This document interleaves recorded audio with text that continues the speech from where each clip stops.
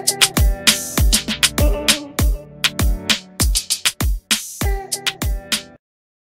ู่นพพลโพสต์ลอยลอยแต่มีหน้าชาอาหารแสลงเป็นพิษสองอย่างไม่ควรกินเอ๊ะยังไงกัน ตู่นพพลโพสเฟซบุ๊กพูดลอยๆ แต่มีหน้าชาแนะนำเมนูอาหารแสลงไม่ควรบริโภคคือมะตูมและกาละแมทำชาวเน็ตแห่แสดงความคิดเห็นถือเป็นเรื่องราวที่สังคมจับตามองอย่างมากกับการติดเชื้อโควิด -19 ของ ดีเจมะตูมเตชินท์ที่ถูกโลกโซเชียลวิพากษ์วิจารณ์อย่างหนัก หลังพบว่าข้าวโอ๊ตคริสพนธรรมนักร้องวงแอ็กซิสติดเชื้อโควิดลบ19และมีไทม์ไลน์เกี่ยวกับการจัดปาร์ตี้งานวันเกิดของมะตูมเมื่อวันที่ 9 มกราคม 2564 จากนั้นข้าวโอ๊ตคริสพนธรรมนักร้องวงแอ็กซิสออกมาวิดีโอคอลโต้กลับว่าวันที่ 8 มกราคมตนถือเค้กไปที่คอนโดของมะตูมจริง แต่วันที่ 9 มกราคม ไม่ได้ไปงานวันเกิดมาตูมเนื่องจากไปร่วมงานไม่ทันจึงไปหาเพื่อนที่ชื่อปีโป้แทนยืนยันว่าตนรู้เป็นโควิดในเมื่อวานนี้ 27 มกราคม 2564 ล่าสุดนักแสดงรุ่นใหญ่และผู้จัดละคร ตู่นพพล โพสเฟซบุ๊กส่วนตัวลอยๆ ว่า อาหารแสลงสอดท้องและเป็นพิษไม่ควรบริโภคคือมะตูมกับกาละแม ท่ามกลางบรรดาชาวเน็ตเข้ามาแสดงความคิดเห็นเป็นจำนวนมาก ในขณะที่ชาวเน็ตบางส่วนก็โยงถึง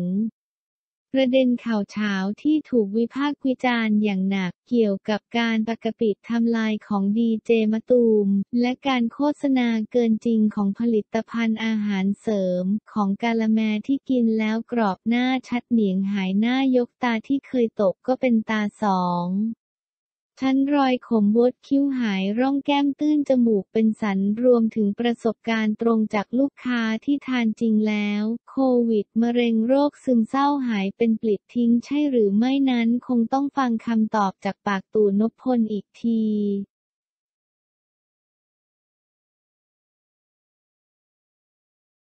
เวียร์ศุกลวัฒน์เล่าเอาดำรงฝากไว้ให้เบลล่าเลี้ยงชาวเน็ตแซวคิดถึงใครเวียร์ศุกลวัฒน์เล่าเอาดำรงฝากไว้ให้เบลล่าเลี้ยงชาวเน็ตแซวคิดถึงใครเวียร์ศุกลวัฒน์เล่าพระเอกหนุ่มเวียร์ศุกลวัฒน์ โพสต์รูปพร้อมเล่าเรื่องราวในอดีต ลงในไอจี weir19 มีข้อความว่า ย้อนไปวันแรกที่ไปรับดำรง ให้อยู่ในกรงได้ไม่นานร้องงอแงจนต้องเอามานั่งตักเหมือนพี่เวเป๊ะเลยสนมาก แต่ก็ขี้อ้อนมากเช่นกันปอลอ ตอนนี้ฝากให้คุณเบนลาแคมเพนเป็นผู้ดูแลไปเรียบร้อยขอบคุณนะครับ คณะพี่เลี้ยงเด็กทุกท่าน มีแฟนๆ เข้ามาคอมเมนต์เป็นจำนวนมากอาทิเป็นติ่งน้องดำรงด้วยติ่งพ่อด้วย คิดถึงพี่เลี้ยงดำรงหลัดซีอี ดำรงอยู่กับมีน่ารักกบกอ เบาได้เบานะดำรงไม่ดื้อไม่สนนะ เวอยู่กับป้าดำรงอยู่กับมะมีน่ารักจังดำรงอย่าดื้อกับมะเมียนะลูกกบเป็นต้นละวัดเล่าอ่านข่าวพี่เวมีงอนเมื่อพี่เวียพาดำรงน้องใหม่เข้าบ้านงานนี้ดูกันยาวๆอ่านข่าว เวียร์พาเบลล่าบุกขอนแก่นไปเจอพ่อร่วมวงกินอาหารอีสานสุดชิลดำรงเป็นสุนัขพันธุ์บีเกิลมีขนที่ลำตัวสีดำขนขาสีขาวและมีขนศีรษะสีน้ำตาลหน้าตาน่ารักน่าเอ็นดู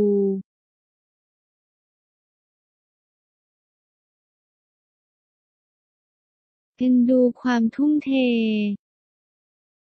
ก็อตอิทธิพัทธ์อวดสเต็ปคู่ริชชี่อรเนสอเล่นใหญ่จนเจ็บตัวไม่รู้จะฮาหรือว่าสงสารดีกับคลิปเต้นคู่ล่าสุดของก็อตอิทธิพัทธ์และริชชี่อรเนสอที่เล่นใหญ่ work hard play harder ของจริง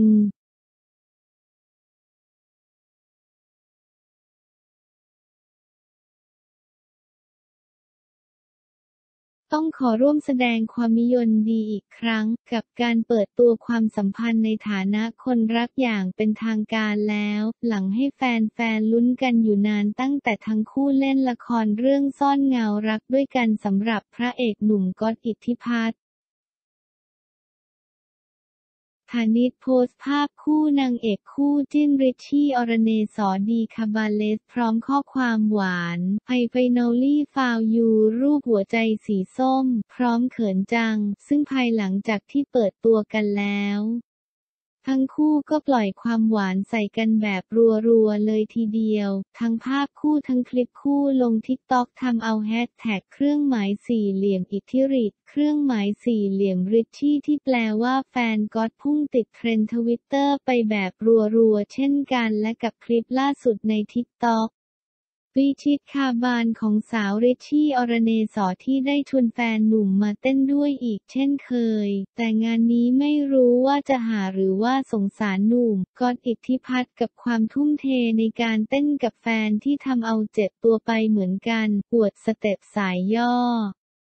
ย่อไปย่อมาเข้ากระแทกพื้นดังปักจนสาวริชชี่ต้องใช้แคปชั่นขำๆไว้ให้ว่า work hard play harder ติกอด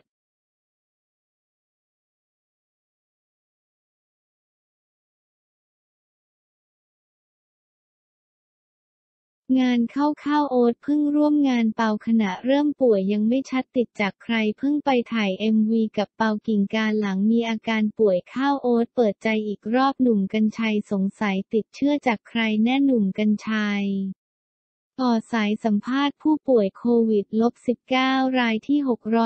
647 นักร้องบอยแบนด์ข้าวโอ๊ตแอคซิสหรือข้าวโอ๊ตคริสในรายการข่าวเที่ยงวันทันเหตุการณ์ สอบถามอาการตัวร้อนมีไข้เมื่อคืนวันนี้กลับมาปกติตั้งแต่ 1 มกราคม แทบไม่ได้ไปไหนวันที่ 8 มกราคมเอาเค้กไปเซอร์ไพรส์ให้ดีเจมะตูม เกือบเที่ยงคืนที่คอนโดดีเจมะตูมแถวลาดพร้าววันที่ 9 มกราคม ไปหาปีโป้ที่โรงแรมบัญญันทรีตอนแรกบอกว่าสามทุ่มแต่ไปสอบถามคนที่อยู่กับตัวเอง ไปถึงประมาณห้าทุ่มกล้องวงจรปิดน่าจะเห็นว่าไปถึงประมาณห้าทุ่มยืนยันไม่ได้ขึ้นไปที่งานบนดาดฟ้า เพราะไปหาปีโป้ที่ห้องพักของโรงแรม โดยมีพี่ชายและแฟนตัวเองด้วยเมื่อวานอัดตื่นเต้นให้ข้อมูลกับมดดำ ไม่ตรงกันตอนไปไม่เจอใครเลย ไม่ได้ถามปีโป้ว่างานเลิกหรือยัง แต่คิดเองว่างานคงเลิกแล้ววันที่ 10-11 มกราคม ไม่ได้ไปไหนโดยเริ่มมีอาการ 12 มกราคมตอนกลางคืนโดยได้แจ้งเจ้าหน้าที่ไปแล้วว่า วันที่ 12 มกราคมตัวเองมีถ่ายงานกับเปากิ่งการนักร้องสาวแถวสตูดิโอนนทบุรีขณะที่ทำลายระบุตลอดทั้งวันเจ้าตัวป่วย มีไข้ไอเจ็บคอมีเสมหะมีน้ำมูก แต่ไม่ได้ระบุว่าไปทำงานข้าวโอ๊ตยืนยันให้ข้อมูลไปแล้ว แถมไม่รู้ทำลายทำไมออกมาแบบนี้ ตัวเองเข้าโรงพยาบาล ตั้งแต่วันที่ 21 มกราคม จากนั้นวันที่ 22 มกราคมมีคนโทรเข้ามาทั้งวันหลายหน่วยงานก็แจ้งไปหมดแล้วไม่ได้ประกปิดข้อมูลก็แจ้งไปว่ามีการตกหล่นจากนั้นวันที่ 13 มกราคม ไม่ได้กลิ่นรับรสอาการหนักขึ้นไม่ได้ออกไปไหนถามว่าไม่เคยรู้หรือว่าอาการจะติดโควิด ข้าวโอ๊ตกล่าวว่าคิดแค่ไม่สบายอากาศหนาวลมหนาวกินยารักษาตัวอยู่ที่ห้องวันที่ 14-19 มกราคม อาการเริ่มกลับมาแข็งแรงปกติจนดีเจมาตูมติดโควิดเลยไปตรวจทั้งนี้คิดว่าตัวเองน่าจะติดจากปีโป้ วันที่ไปกินข้าวบนดาดฟ้าปีโป้ลงมาเจอตัวเองแล้วติดหนุ่มกัญชัยถามว่าแต่จากข้อมูลมีจอ ไปร่วมงานซึ่งจอไปผับเชียงใหม่มาแล้วมาปล่อยเชื้อในงานวันเกิดมะตูม ถ้าจอ คือ super spreader แล้วปีโป้ติดจากจอ ก็ไม่น่าจะปล่อยเชื้อให้ข้าวโอ๊ตได้ทันที นอกจากข้าวโอ๊ตจะขึ้นไปบนดาดฟ้า ข้าวโอ๊ตยืนยันไม่ได้ขึ้นไปเจอจอ แล้ววันที่ 8 มกราคม ก็เจอแค่ดีเจมะตูมตอนกลางคืนส่วนกลางวันเจอแฟนกับพี่ชายที่ห้องซึ่งก็ไม่ติดโควิด ทั้งนี้หลังข้าวโอ๊ตเปิดไทม์ไลน์ว่าไปถ่ายงานกับนักร้องสาว เป่ากิ่งการเมื่อวันที่ 13 มกราคม พบว่ามีการเผยคลิปดังกล่าวออกมา ขณะข้าวโอ๊ตไปร่วมอยู่ด้วยในการถ่ายทำ MV เพลงแรงพุงของนักร้องสาวเป่ากิ่งการที่ AVATRIVI สตูดิโอชัยพฤกษ์ราชพฤกษ์